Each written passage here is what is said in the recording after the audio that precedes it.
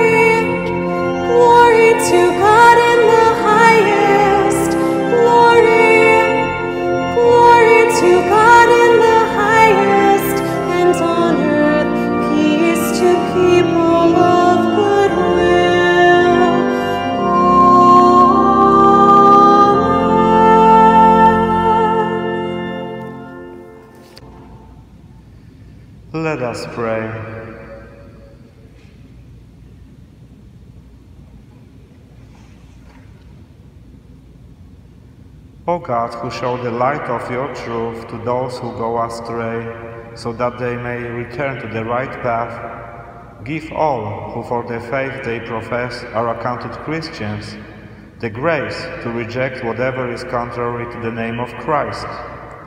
and to strike after all that does it honor. Through our Lord Jesus Christ, your Son, who lives and reigns with you in the unity of the Holy Spirit, one God forever and ever.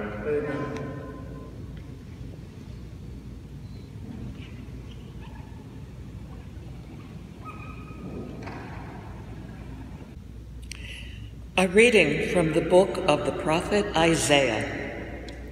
Thus says the Lord Just as from the heavens the rain and snow come down, and do not return there till they have watered the earth, making it fertile and fruitful, giving seed to the one who sows, and bread to the one who eats.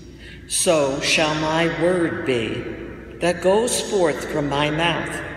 My word shall not return to me void, but shall do my will, achieving the end for which I sent it. The word of the Lord.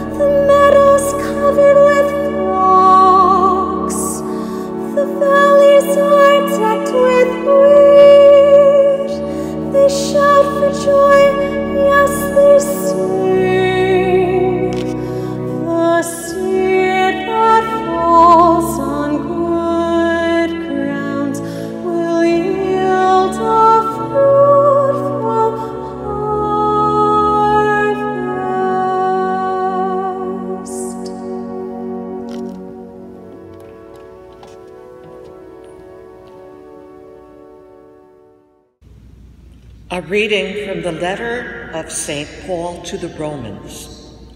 Brothers and sisters, I consider that the sufferings of this present time are as nothing compared with the glory to be revealed for us. For creation awaits with eager expectation the revelation of the children of God. For creation was made subject to futility, not of its own accord, but because of the one who subjected it, in hope that creation itself would be set free from slavery to corruption and share in the glorious freedom of the children of God. We know that all creation is groaning in labor pains even until now. And not only that, but we ourselves, who have the first fruits of the Spirit, we also groan within ourselves as we wait for adoption, the redemption of our bodies. The word of the Lord.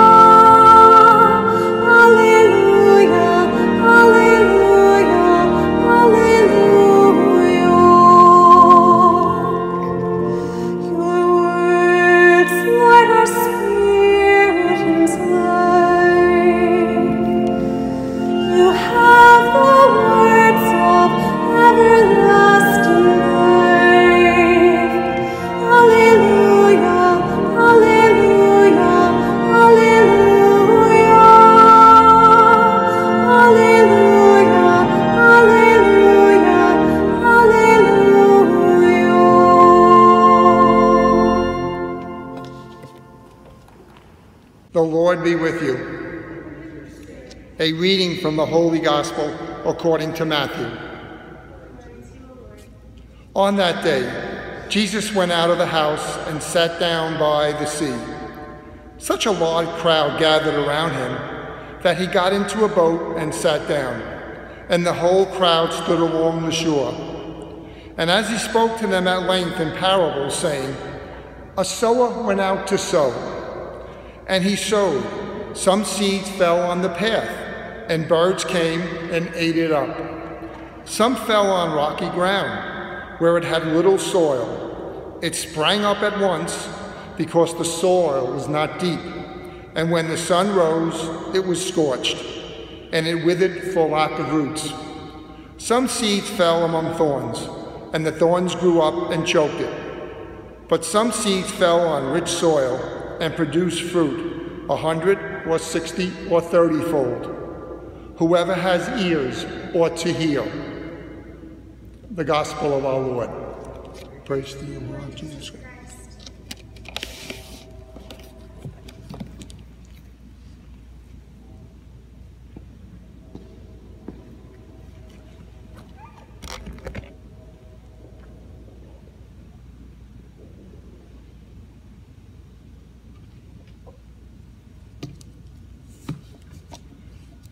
How many words have been spoken to us when we were growing up? How many seeds were dropped into the soil of our minds and our hearts during our early years and even today? Those words came from our parents, guardians, loved ones, and many others. We hear words of greeting and welcome, words of encouragement and affirmation, words of advice and guidance, words of correction and discipline, words of warning and caution, and words of comfort and consolation.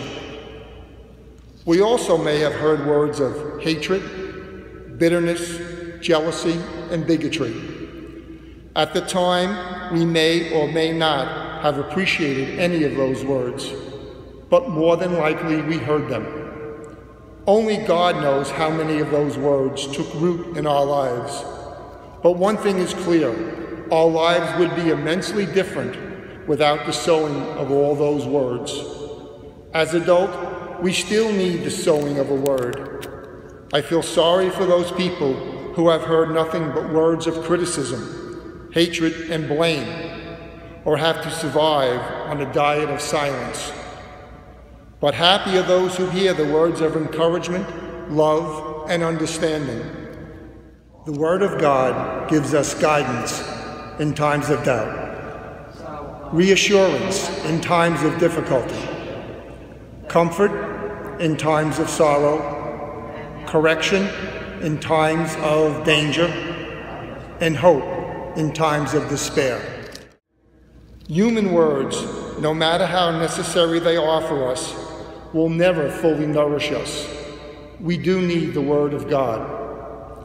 The Word of God gives us guidance in times of doubt, in times of difficulty, comfort, in times of sorrow, correction, in times of danger, and hope in times of despair. God's word is never a negative word. It is spoken word with love. Just as food nourishes our body, so the word of God nourishes our mind, our hearts, and our spirit. God speaks to us in the most hidden parts of our being. But do we hear him? There are many voices out there vying for our time and attention today. In fact, every day we are subject to an avalanche of words coming at us. How can we hear or even recognize God's quiet word in the midst of all that sound?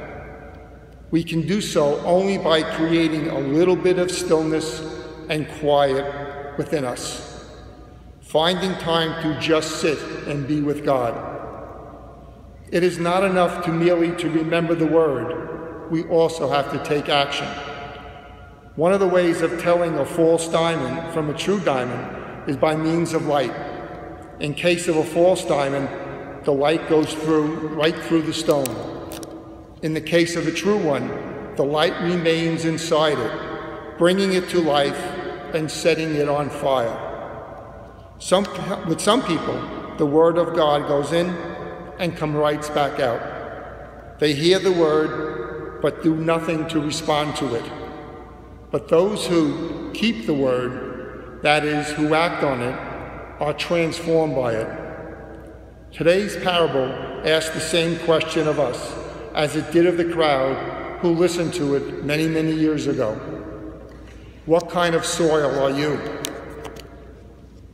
How will we let the Spirit grow within us from day to day, moment to moment, any of us can be any of the soils that today's parable decide, describe. So we ask ourselves, what kind of soil am I? Sometimes in my case, my mind is closed to new ideas and commitments. I forget nothing old and learn nothing new. I am a path made hard. Nothing can grow within me. Sometimes my mind is soft, shallow, and sentimental. There is emotion, but no action. The shallow soil of sentimentality and the hard rock of cynicism conspires together to prevent roots from reaching out. Sometimes my mind is preoccupied, absorbed with the everyday occurrences, cluttered with its trash and endless turmoil of events. I become incapable of observing, reflection, or prayer. Merciful, there are times when I am none of these. I am instead a rich, fertile, a welcoming soil that accepts the scattered seeds and produces crops. When I am this kind of soil, my task is to be patient. Growth takes time. During this time, there is need for observation, reflection, and prayer. There is a wonderful promise in today's gospel that keeps us faithful to that work. It is a promise of our Lord that our faithful efforts will be rewarded 30, 60, or 100 times over. That is not an exaggeration, that is a promise. We open ourselves now to receive that gift, confident that the divine seeds planted in our rich soil will grow and yield a hundredfold. What kind of soil are you?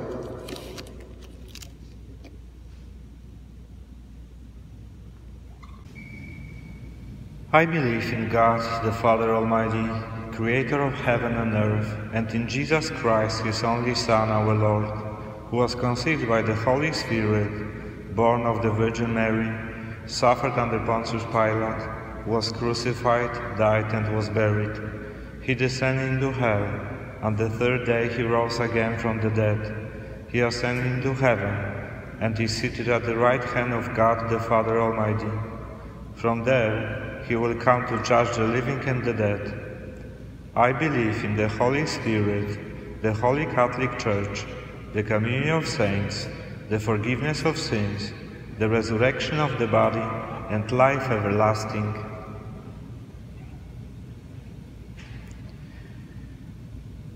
Having been nourished by the Word of God, let us now entrust to the Lord our needs and those of the world. Our response is, Lord, hear our prayer. For bishops, priests, deacons, and all who teach the faith, that they may faithfully sow the seed of God, word, and tend to its growth, we pray to the Lord. For farmers and all those who work in the fields throughout the world, may God prosper the work of their hands and bring about a bountiful harvest. We pray to the Lord. For all those who will go to bed hungry tonight, for all who lost their jobs, for the homeless, may their cries be heard and answered. We pray to the Lord. For parents, that they may inspire their children to ground their hope for the future in the loving care of God, despite all problems and anxieties. We pray to the Lord. For all of us gathered, may we nourish fertile soil within ourselves, our family, and our parish, so that the Word of God may take root and flourish. We pray to the Lord. For those who are sick and those who have asked for our prayers, May the Lord bring them healing and peace. We pray to the Lord.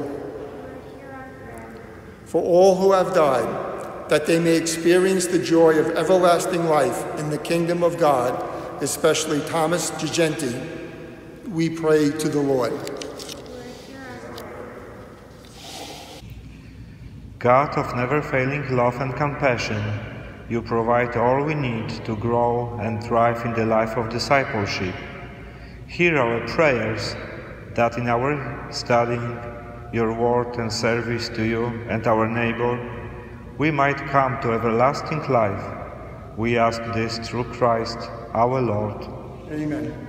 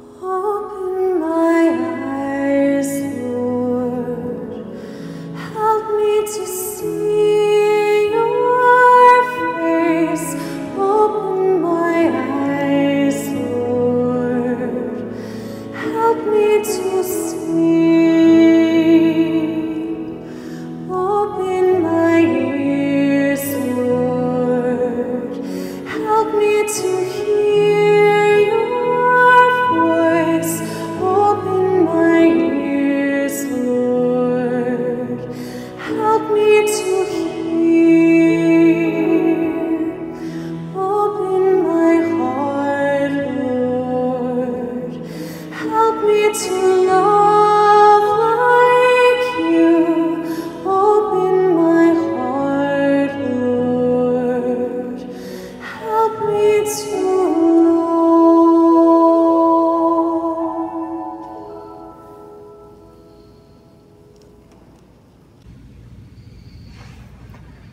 brethren, that my sacrifice and yours may be acceptable to God the Almighty Father.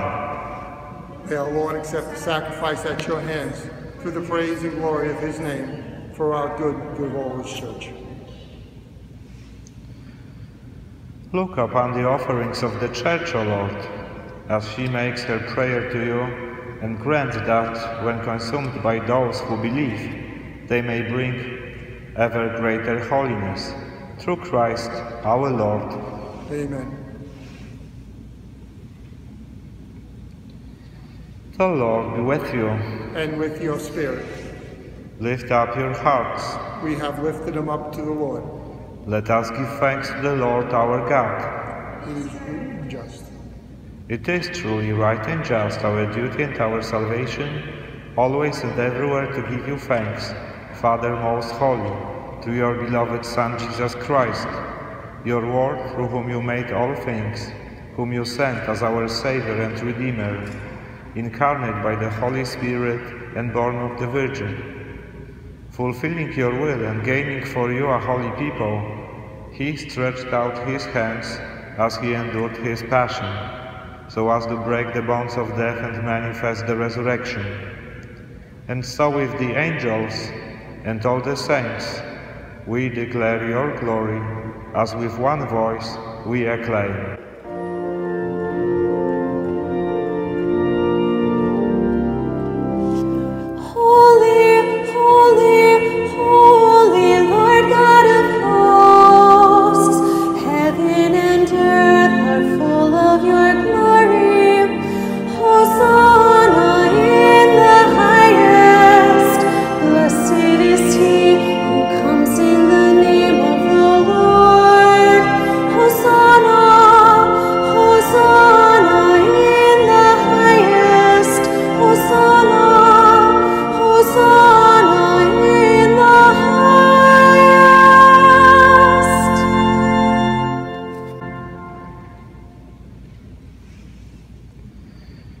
You are indeed holy, O Lord, the fount of all holiness.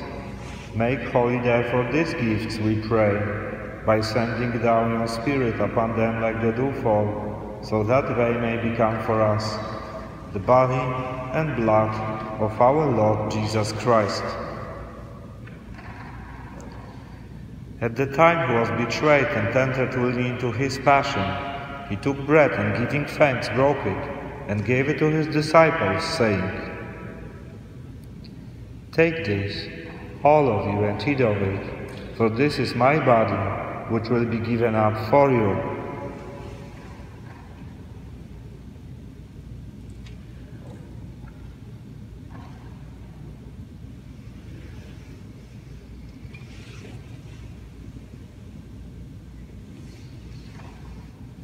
In a similar way, when supper was ended, he took the chalice, and once more giving thanks, he gave it to his disciples, saying, Take this, all of you, and drink from it, for this is the chalice of my blood, the blood of the new and eternal covenant, which we poured out for you and for many, for the forgiveness of sins. Do this in memory of me.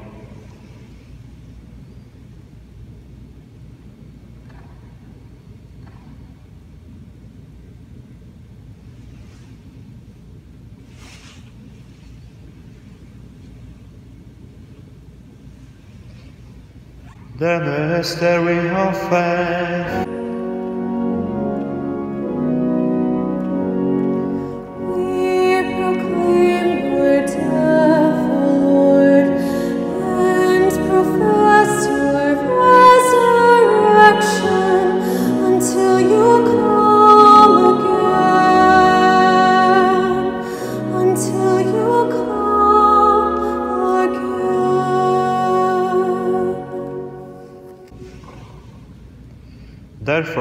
Celebrate the memorial of his death and resurrection, we offer you, Lord, the bread of life and the chalice of salvation, giving thanks that you have held us worthy to be in your presence and minister to you. Humbly we pray that, partaking of the body and blood of Christ, we may be gathered into one by the Holy Spirit. Remember, Lord, your church spread throughout the world, and bring her to the fullness of charity, together with Francis our Pope, and Joseph our Bishop, and all the clergy. Remember also our brothers and sisters who have fallen asleep in the hope of the resurrection, and all who have died in your mercy. Welcome them into the light of your face. Have mercy on us all, we pray, that with the Blessed Virgin Mary, Mother of God, with the blessed apostles, and all the saints who have pleased you throughout the ages, we may merit to be co-heirs to eternal life, and may praise and glorify you through your Son, Jesus Christ.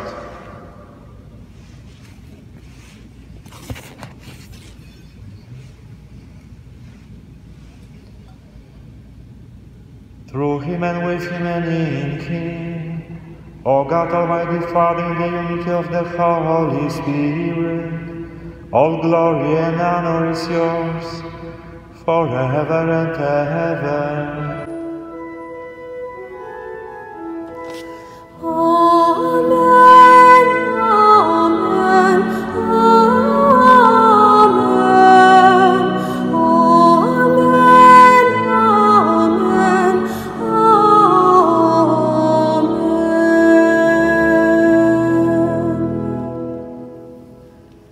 Saviour's command and from by divine teaching, we dare to say, Our Father, who art in heaven, hallowed be thy name. Thy kingdom come, thy will be done, on earth as it is in heaven. Give us this day our daily bread, and forgive us our trespasses, as we forgive those who trespass against us.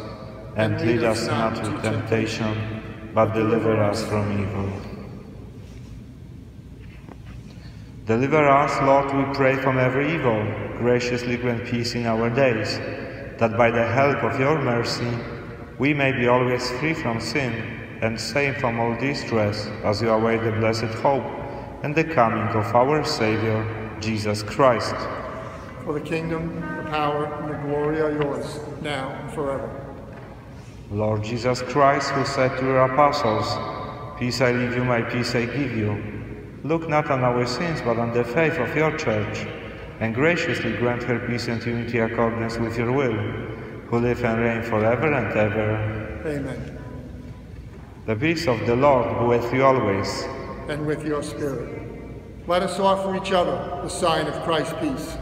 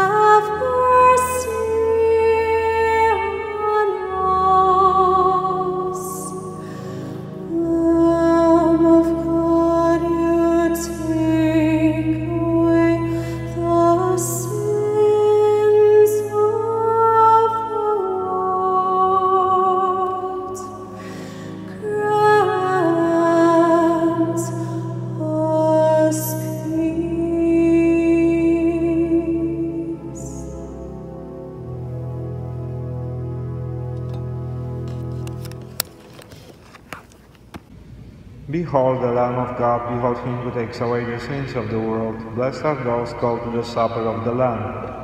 Lord, I am not worthy that you should enter under my roof, but only say the word, and my soul shall be healed.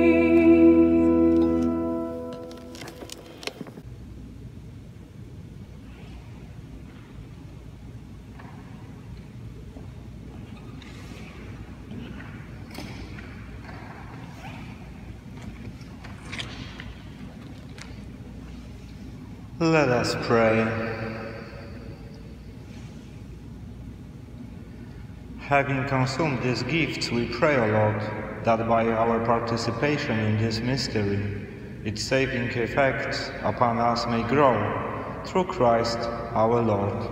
Amen. Amen. Do we have an announcements? Where, where's Cathy? Over there. Okay. Thank you so much to all of you who have kept us going. Your presence online and in person is so important to building our community here at St. John's in Hillsdale.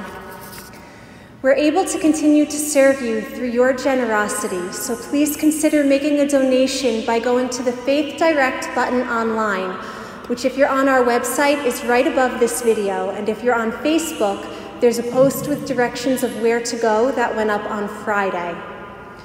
You also can consider dropping your envelope at the rectory or mailing it to the rectory at 69 Valley Street.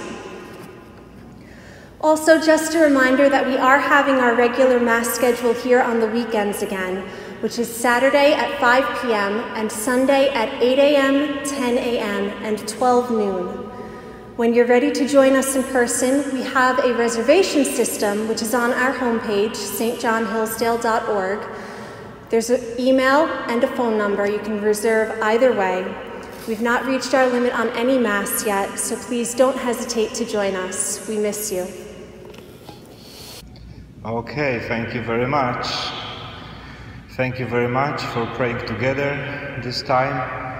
And uh, Lisa, thank you. I always say she is like an angel, beautiful voice.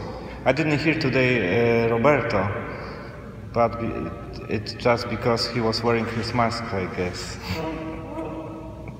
okay, thank you very much, Al and Cathy. Have a wonderful week. The Lord be with you.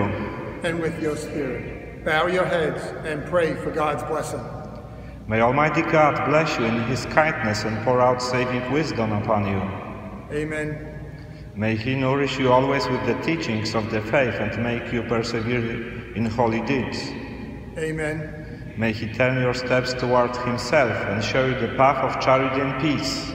Amen. And may the blessing of Almighty God, the Father and the Son and the Holy Spirit come down on you and remain with you forever. Amen. The Mass is ended. Let us go in peace to love and serve the Lord and each other. Thanks to God.